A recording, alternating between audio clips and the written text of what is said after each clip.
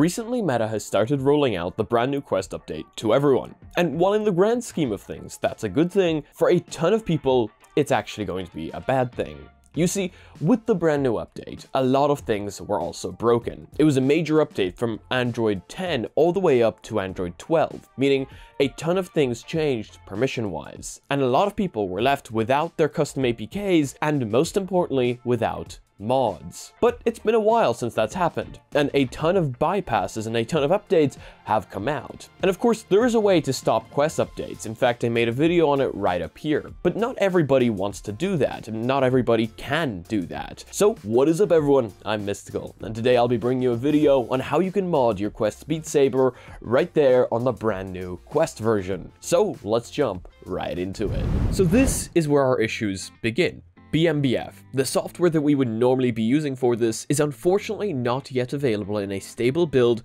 for Android 12. Because the permissions have changed so much, BMBF is not yet ready to run on the Quest on V51. However, there is a different software that we can use. So let me show you exactly how to get everything set up on your V51 Oculus Quest. First things first, you will need developer mode enabled for this. If for whatever reason you don't have it enabled yet, go ahead and enable it. Then you will need SideQuest, either on your headset or on your computer. If you are using the computer method, connect your Quest to your computer via a USB Type-C cable. Then jump into SideQuest. Make sure that your quest is being seen by SideQuest up in the top left here, and if it's telling you that it's unauthorized, you may just need to accept a dialog inside the quest itself. Once you have done this and your quest is being seen inside SideQuest, search for Quest App Version Switcher. This is the app that we will be using today. Then click on Download App, Sideload, and this will install the app onto your headset. Now you are free to disconnect the Quest from your computer.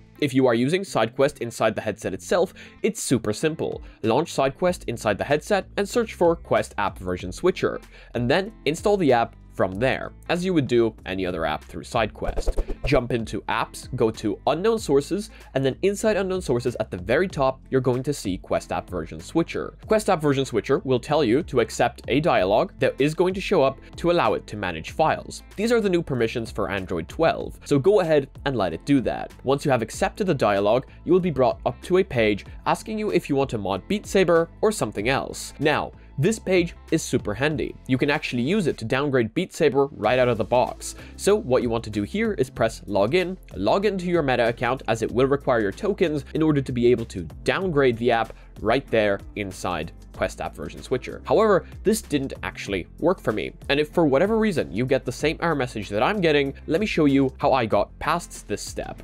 First of all, uninstall any current version of Beat Saber that you have, as you cannot downgrade APKs if they have the same signature. This will make you lose any progress you have in the game, so make sure to back up your game before in case you want to restore that later. Then go to this page, which I got from the Quest Beat Saber modding Discord on your computer or on your Quest. So first, let me show you how to do this on your computer. Sign in to your Meta account inside the browser that you're using. Don't worry, you're signing directly into the Meta website, meaning you're not actually giving out any information to any third parties. Once you have signed in to your Meta account, select the app that you want to downgrade, for us that's Beat Saber, and type in the version that you want to downgrade to. For us, that's 1.28, as that is the current latest moddable version.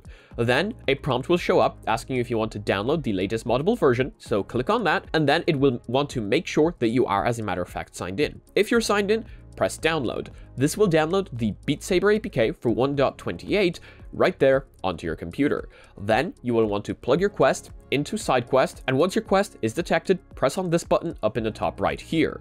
Then find the APK that you just downloaded and double click on it. This will install the APK for Beat Saber 1.28 on your quest through SideQuest. Now, let me show you how you would do this on your Quest. If you followed my tutorial on how to install APKs right here, you would know that you can actually install APKs directly from the Quest itself, meaning that you can visit this exact same website on your Quest, sign in to your Meta account, select Beat Saber on the list, type 1.28, and select Download Latest Moddable Version. Then, once you've made sure that you are, as a matter of fact, signed in, press download and this will download the APK for Beat Saber 1.28 onto your headset. Then you can launch a file manager, something like Amaze, find the APK that you just downloaded inside downloads, click on it, and install it. There you go. You've now got Beat Saber 1.28 unmodded right there on your quest. And remember, this is just if that login method doesn't work for you. If that login method works for you, it'll bring you directly to that page right there inside Quest App Version Switcher. So from here on out,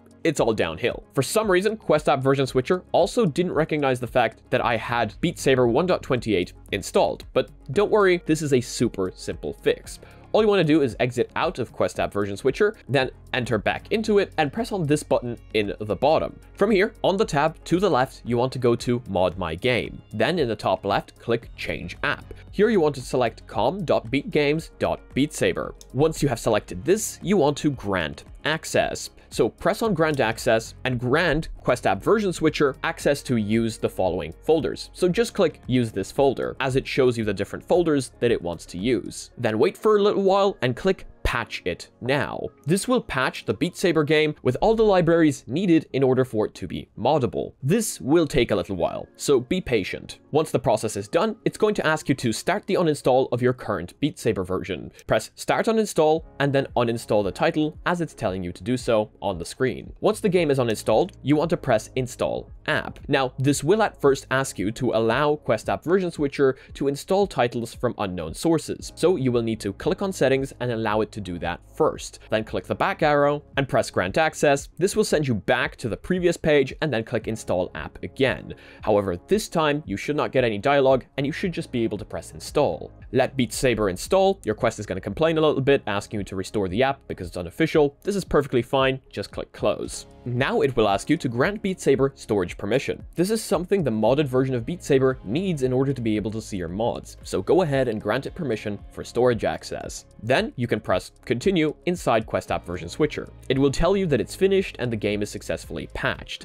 From here, you want to go to Get Mods and Cosmetics. Then you want to click on Open Beat Saber Mods page. Then, from here, you want to press on Download All Core Mods. This will download all the core mods that are necessary in order for the game to be moddable, and this will take a while, so let all of those install. Once that's done, you want to press on Get V51 Custom Types fix. Once those two are done, you're free to download any additional mods that you might want to download for the game. Once you have all the mods that you might want, now you are free to launch Beat Saber, and all your mods that you have just downloaded should be right there. I know that this isn't as simple as it used to be with BMBF, however the unicorns over at BMBF are working hard in order to get it working with Android 12. And until they get it working, this method works, and it works just fine. You can download all your mods that you want through it, and then you can download any songs that you want through Beat Saber itself. So there you guys go. That's how you can currently mod your Beat Saber game on Android 12, on V51, on your Quest devices. Hope that could help.